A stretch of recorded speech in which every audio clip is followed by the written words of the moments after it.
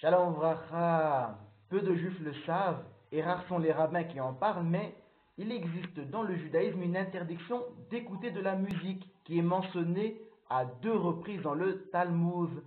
La première fois, c'est dans le traité Gittin au Daf 7a, où il est rapporté qu'on demanda à Mar Okva, la source de l'interdiction de la musique depuis le Horban Baïs Sheni.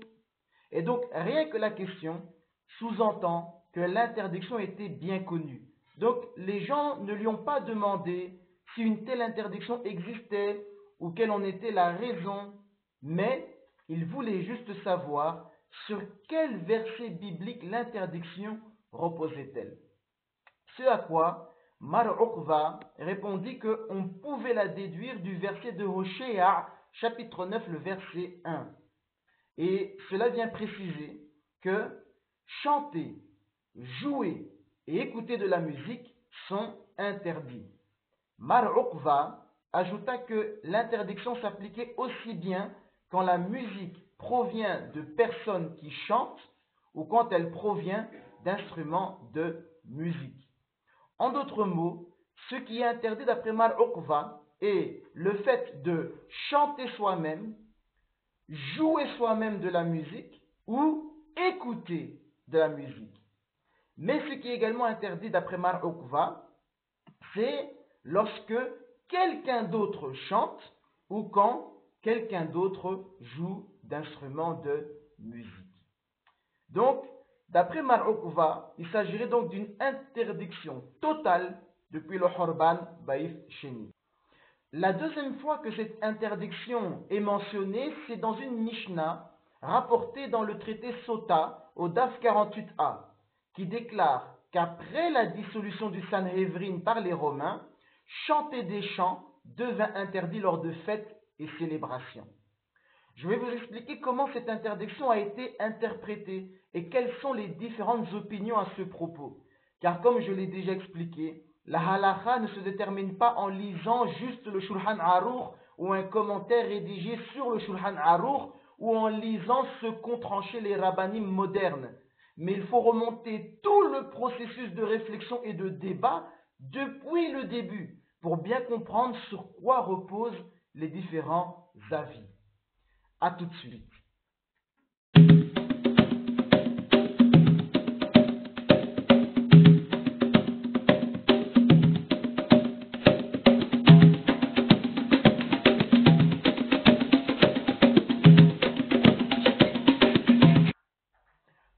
A cité le Talmud, l'ordre du processus de réflexion et de débat consiste à voir comment est-ce que les Rishonim ont interprété la Gemara et la Mishnah que nous avons rapportée.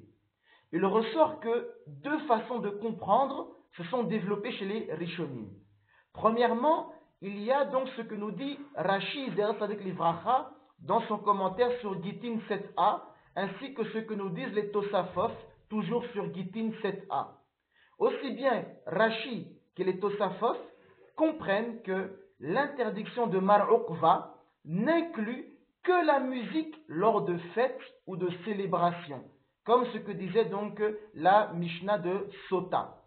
Donc, autrement dit, l'interdiction d'écouter de la musique, etc., etc., ne s'appliquerait que dans le contexte d'une fête ou d'une célébration. Mais en dehors d'une fête ou d'une célébration, il pourrait être autorisé d'écouter de la musique, de chanter, etc., etc. Les Tosafos ajoutent qu'il faut également être mahmir dans les cas similaires à ceux qui sont mentionnés dans le Talmud Yerushalmi, dans le traité Merila, au chapitre 5, à la halakha numéro 3. Parce que là-bas, le Talmud Yerushalmi nous parle d'une personne qui s'endort et se réveille au son de la musique. Par conséquent, de nombreux Rishonim, comme par exemple le Smag, le Sefer Misvot Gezolof, donc euh, dans les lois donc sur Tisha B'Av, au DAF 123b, ainsi que le Hivushi Haran dans son commentaire sur Gittin 7a, ainsi que le Tosafos Harosh dans son commentaire sur Gittin 7a, et le Hagaof Mordechai au tout début donc de son commentaire sur Gittin, ainsi que le Meiri à la page 20, ils sont tous d'accord avec Rashi et les Tosafos. à savoir que l'interdiction s'applique dans le cadre d'une célébration ou d'une fête, ainsi que dans le fait de s'endormir et se réveiller sur de la musique. Dans tous ces cas-là, c'est là que donc l'interdiction rapportée dans la Mishnah et la Gemara s'appliquerait.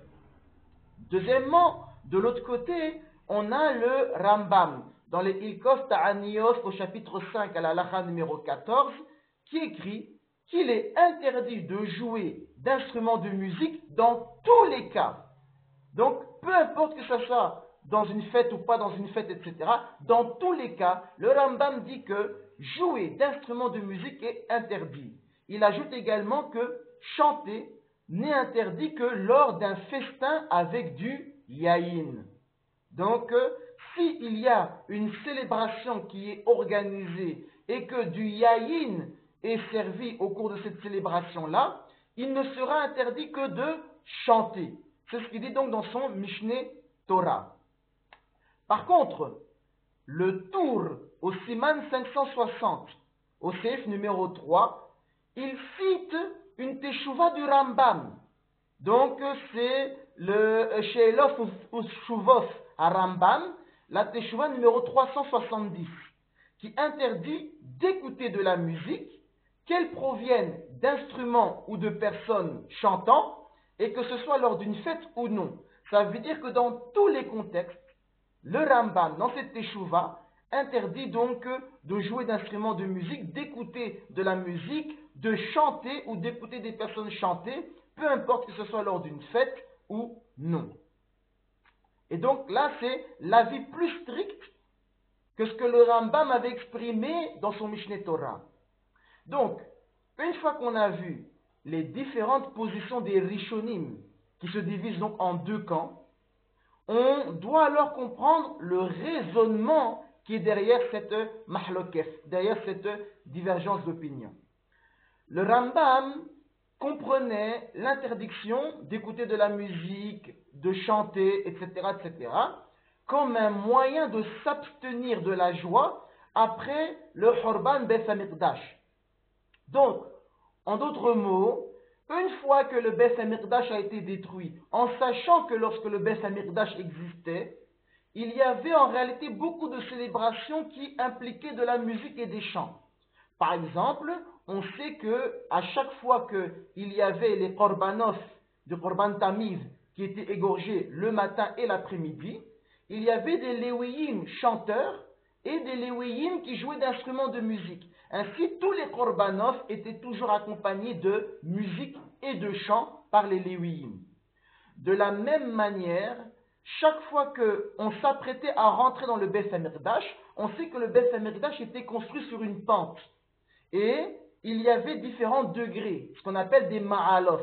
Et chaque fois qu'on parvenait à un degré, à un palier, on chantait un shira ma'alof. Donc au premier palier, on récitait le Télim 120 avec musique instruments de musique. Avec chant et instruments de musique, pardon. Ensuite, au deuxième palier, on chantait le Télim 121. Au troisième palier, le Télim 122, etc., etc., jusqu'à quand on arrivait au dernier palier et qu'on pouvait enfin entrer dans la Hazara, dans le parvis. Donc on voit que la joie et la musique faisaient partie intégrante du rite qui avait lieu dans le Beth. Et par conséquent, d'après le Rambam, depuis que le Beth a été détruit, et afin donc de pouvoir diminuer notre joie dans ce monde-ci, les Hachamim auraient décrété une interdiction catégorique d'écouter de la musique et de jouer d'instruments tant que le Beth ne serait pas rebâti. Et cela ressort très clairement des mots que le Rambam emploie dans ses Ilkos Ta'anios au chapitre 5, la halakha numéro 14. Et cela se reflète également dans le fait que le Rambam a placé cette halakha-là dans ses Ilkos Ta'anios donc dans ses lois sur les jeunes. Et on le voit également dans le fait que le Tour et le Shulchan Aruch placent également cette halakha dans le siman qui est intitulé Zecher le Mirdash, c'est-à-dire ce que l'on fait en souvenir du sanctuaire.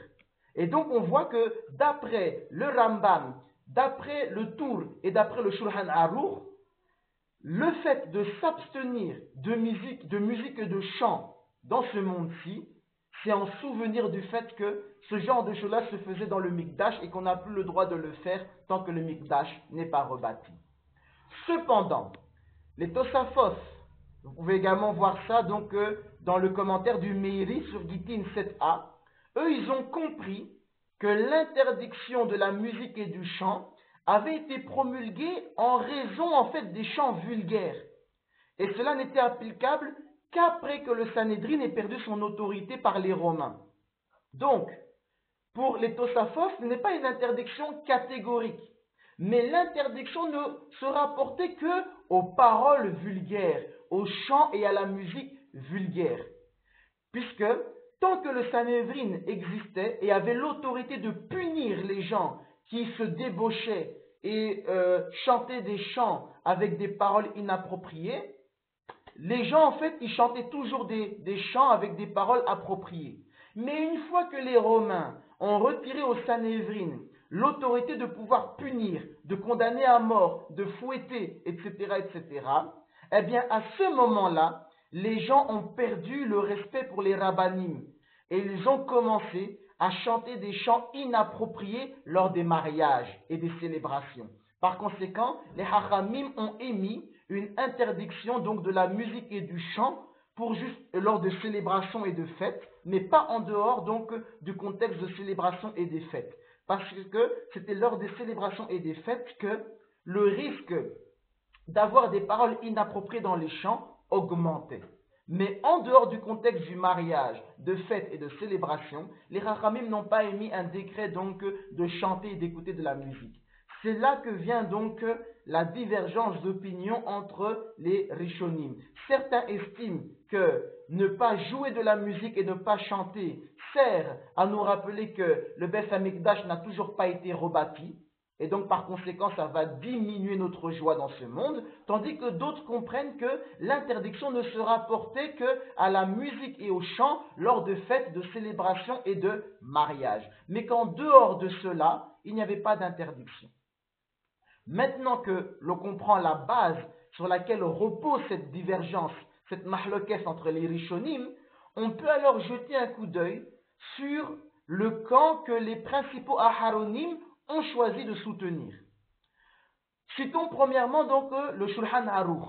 Dans le Siman 560 au CF numéro 3, Rabbi Yosef Karo y tranche comme ce que le Rambam, le Rambam rapporte dans son Mishneh Torah, c'est-à-dire comme ce que le Rambam il a dit dans les Ilkos Ta'aniyot, le chapitre 5, le, la halakha numéro 14.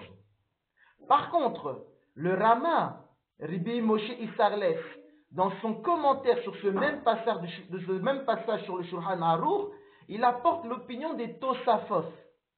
Il dit que les Tosafos, ce qu'ils ont dit, c'est ça la halakha. Et qu'est-ce qu'avaient dit les Tosafos? Les Tosafos avaient dit que l'interdiction de la musique était simplement limitée à une fête ou un festin au cours duquel du yaïn était servi. Mais qu'en dehors de cela, il n'y avait pas d'interdiction.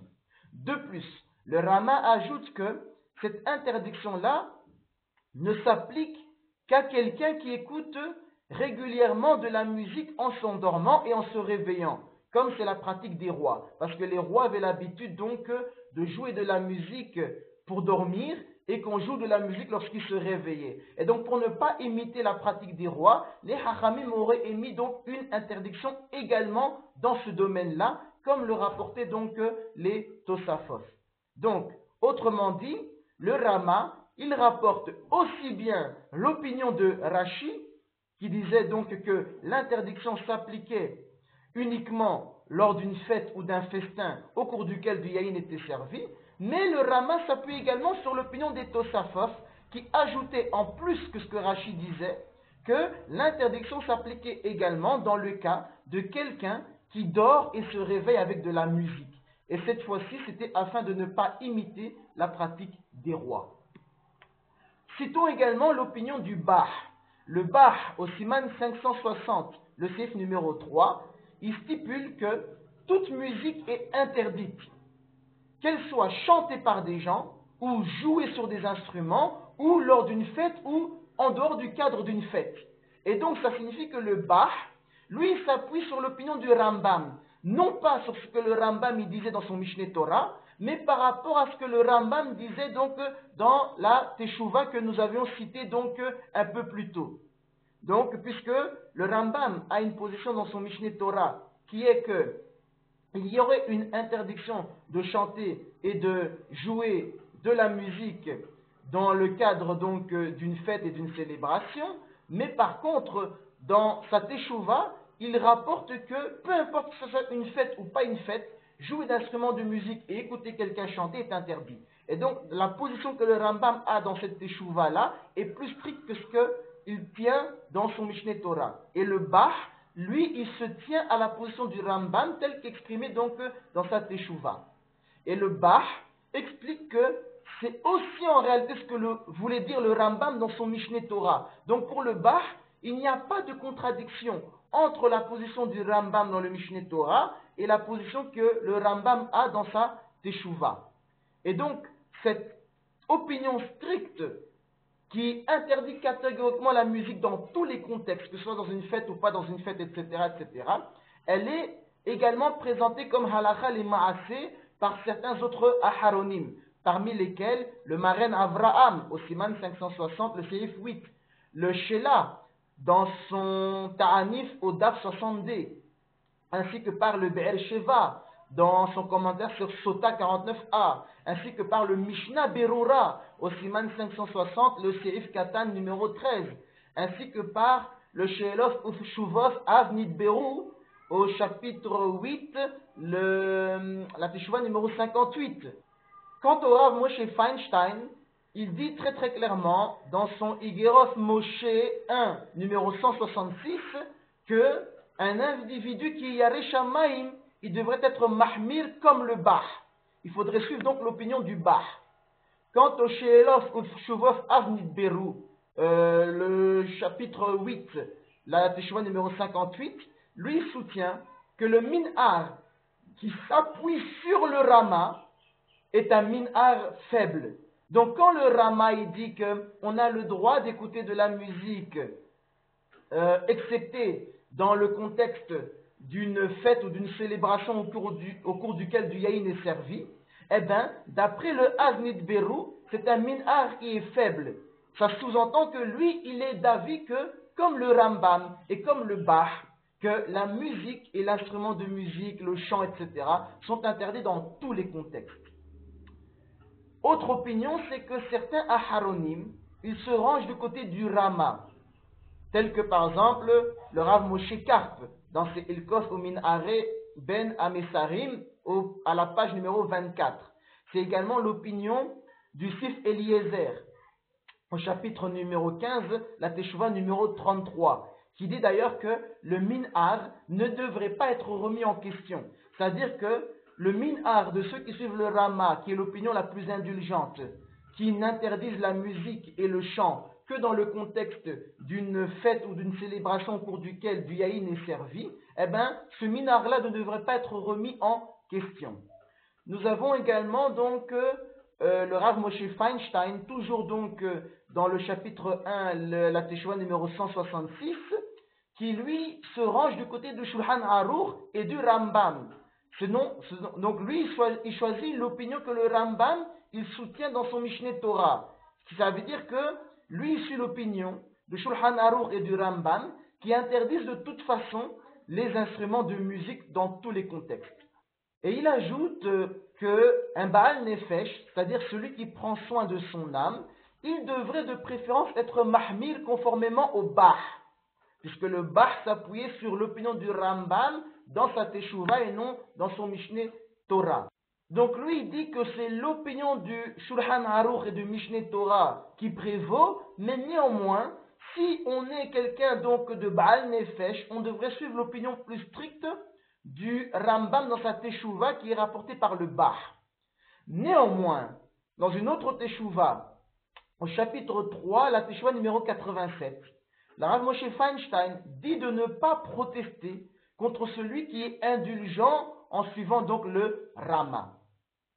Et donc, une fois que l'on a vu comment les Aharonim se sont positionnés sur cette question de l'interdiction d'écouter de la musique, on peut désormais comprendre les différentes pratiques que vous pourrez voir autour de vous et qui se sont développées avec le temps et sur quoi ou sur qui ces pratiques-là sont basées. Ici, je vous ai donc, donné les bases d'une des interdictions les plus méconnues de la foi juive. Car peu de gens savent qu'il pourrait être problématique d'écouter de la musique vocale ou instrumentale, ou même d'en jouer soi-même ou de chanter. Mais pas de panique. Dans la deuxième partie, je vous donnerai les cas d'exception qui existent, même d'après l'opinion stricte du Rambam et ceux qui, comme lui, interdisent la musique et le chant. Donc, sachez qu'il y a des situations où, même d'après ces posikim-là, et même d'après le Rambam qui est Mahmir, il sera autorisé de chanter ou d'écouter de la musique vocale ou instrumentale. Donc pas de panique, mais ça, ça sera pour la prochaine fois. Hazakuvaruh.